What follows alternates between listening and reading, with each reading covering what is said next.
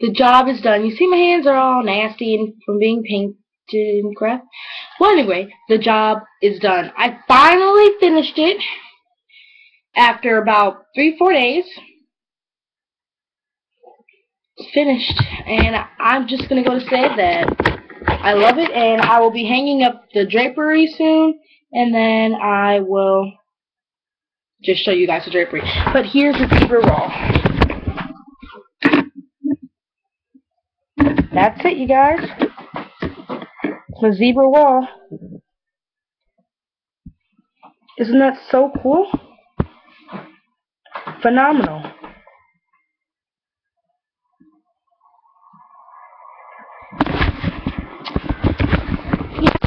And I feel like crap. Um, yeah, my neck really hurts. And uh, I'll show you two necklaces that I made yesterday.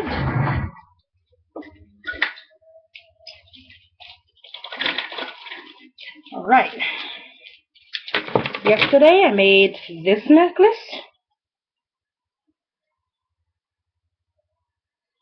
Piece broke off because I kept playing with it, so not exactly sure how I'm going to fix that piece, but just know that I want to fix it. it. Looks like someone took a chomp out of it. And then I made this yesterday, and I love this. I think this is just so pretty. And very artistic of me. Yep. Hello Kitty!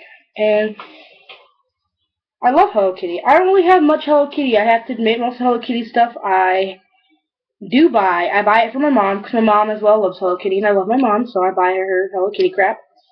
So most stuff that I do buy is for my mom, so I decided I'll do something for myself that I that memorizes Hello Kitty. So I made this. And I'm on grody and crap from paint, so I'm gonna go take a shower, and then I'm gonna do my makeup and junk. Oh! And then I'll come at you guys with an outfit of the day. I have to hurry up because my mom's picking me up at 4 and it's now 3.30. Goodbye.